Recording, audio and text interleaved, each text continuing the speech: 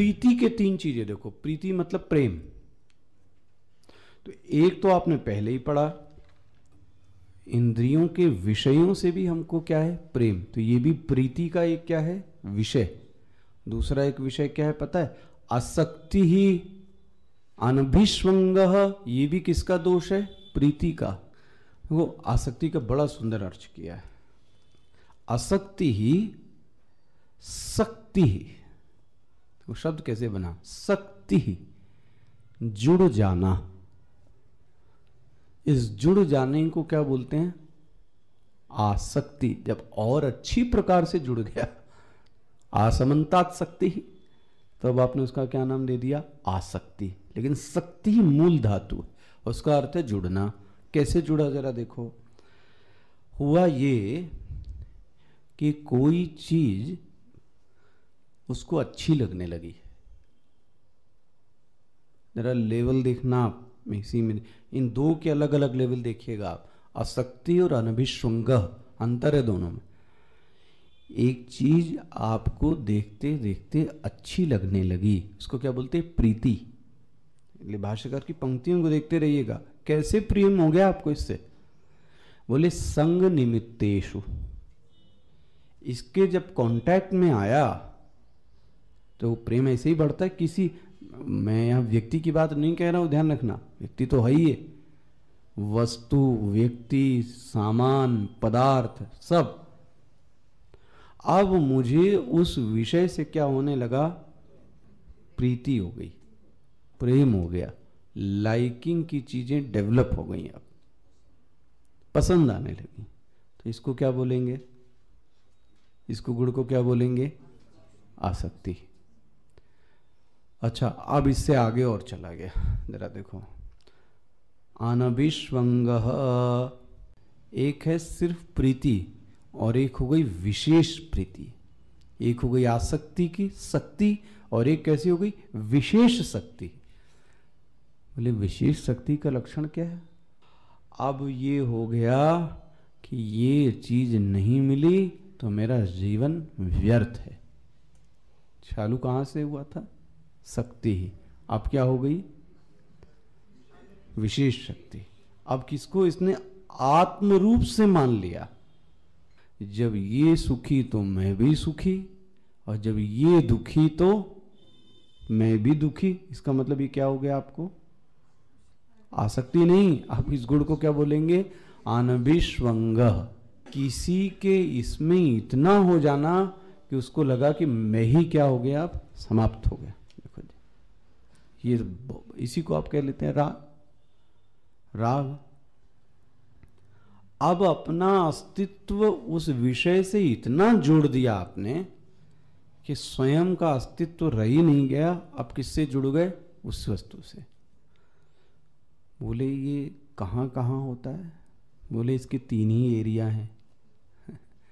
कौन से तीन एरिया हैं? पुत्र। देखो जी, ये पुत्र राम। कभी देखता हूँ कि पढ़ाई एग्ज़ाम बच्चे का होता, पढ़ता माँ बाप है, उतना रात भर देखो आप। समझ में नहीं तो पहले भी पढ़ चुके फिर से पढ़ना पड़ रहा है। इतना अटैचमेंट है। और फिर ये अंत में दुखी देता है। कुछ भी कह लो आप। एक सीमा से ज़्यादा प्रेम दूसरा जब रूप लेता है तो समस्या तो आएगी आएगी। हो ही नहीं सकता ना। इसलिए भाष्कर का देखो आप, और भगवान कृष्ण ने कैसे पहले से बोल दिया है? यही एरिया है आपके, जो वीक एरिया है। किसके? अनविश्वंग के। पहला एरिया, पुत्र। जहाँ आपने अपना आनंद छोड़कर, अपनी सब चीज़ें छोड़कर, उसके रंग में रंगे, और जब उसको ज़रूरत नहीं थी, उसने आपको क्या दिखा दिया? बाहर जाइए। एक सीमा से ज़्यादा किसी को अपनी पर्सनल बाउंड्री में आने की अनुमति नहीं देनी चाहिए।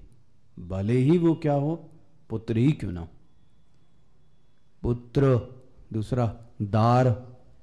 दार मतलब स्त्री।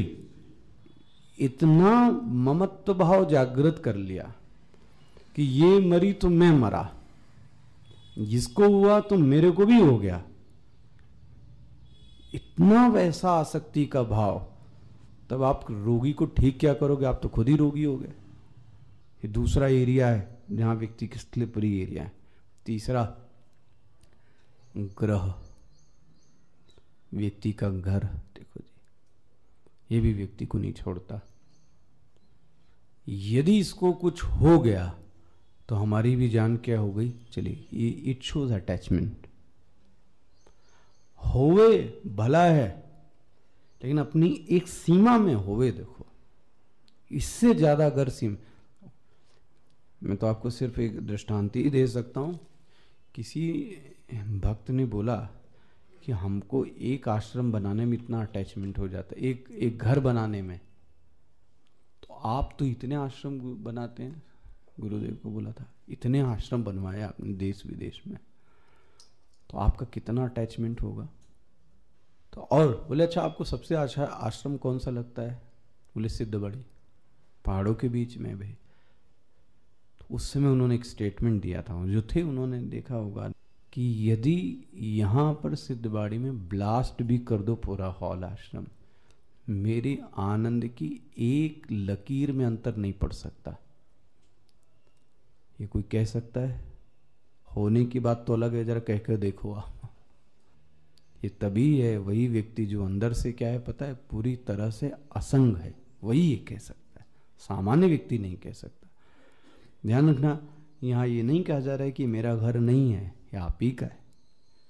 लेकिन इतनी आसक्ति ना पैदा हो जाए कि जो आपका लक्ष्य है, वो लक्ष्य ही क्या हो गया? साधन कभी साध्य न बन जाए। इसको याद रखिए। जो पाथेय है, वो कभी लक्ष्य तो नहीं हो सकता। भाई, आप टिफ़िन लेकर यात्रा करने गए, टिफ़िन लक्ष्य नहीं हो सकता। टिफ़िन तो सिर्फ़ पाथेय है। ये सब तो साधन है आपको जोड़ने के उससे। लेकिन हमने इसी को क्या बना लिया? तो तो आपकी लाइफ आगे क्या हो जाएगी? मिजरेबल होगी। संबंध एक सीमा तक होवे कि हमारे लक्ष्य में क्या बने, वो विरोधी ना बने। तो सब चीज़ें क्या हैं? अच्छी हैं। जहाँ लक्ष्य विरोधी कोई बन गया, भाई, इतना कंफर्ट इतनी सब चीज़ें लग्जरी हो गई कि हमको लक्ष्य ही क्या हो गए, हम भूल गए। तो फिर ये सब मिला क्यों था आपको? तो ये गड़बड़ है।